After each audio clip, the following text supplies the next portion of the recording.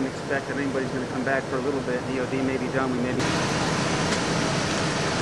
Video shot, buddy. Oh, look, oh, here comes the bomb. Yeah, it's probably like a porta potty thing. Yeah, that's what I'm talking about.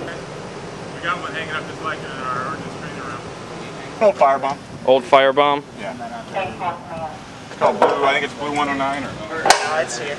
Yeah, blue 10. Blue Blue 10. 10. Blue 10 Bravo. Yeah. It was just an old uh, fuel. Alright, cool. You guys hang tight, I'm gonna I got you. you guys with us. How old would you say this is, you? Uh, probably, probably find you a. Uh,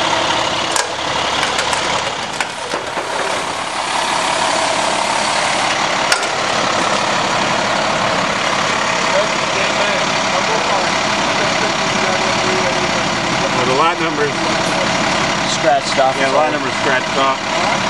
I'd say old Vietnam era. Vietnam era, eh? Yeah. That's wild.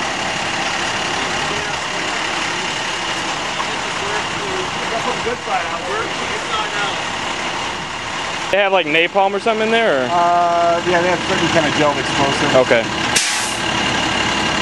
And it, when if if full, what what kind of uh, ex, what size explosion would something like that? Not a huge explosion, just a big fireball. Just a big fireball. Yeah. Well, what what I was doing, I was cleaning out. I'm I'm going to put a, a shed, another shed to the Uh-huh. left of this this shed here, Yeah. and I was cleaning out uh, all the brush and uh, uh, some lumber that I had from, Okay. from my deck here, uh, and uh, and I was blowing blowing the leaves of- back, and I, all of a sudden I see this big. I I didn't pay any attention to it at, right at first, and then I decided. Uh, uh, to blow some more off and it, it just got big so I actually picked it up Okay. and backed up with it and set it down and I rolled it over and looked at it and once I once I looked at it uh, it said on there bomb B O M B. Bomb. OMB and I went whoa I don't I need to I need to do something about this so Sure. I went, went right in and called the sheriff's department and then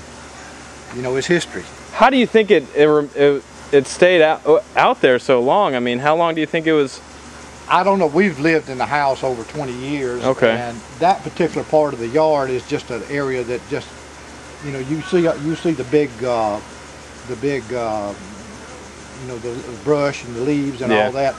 And a matter of fact, we even had some some limbs from storms that previous storms and and whatnot back there. So it just was covered up, you know. Huh. As a matter of fact, uh, you know, it was it was kind of down down in the uh, mulch. It was back. Was there. it? Okay.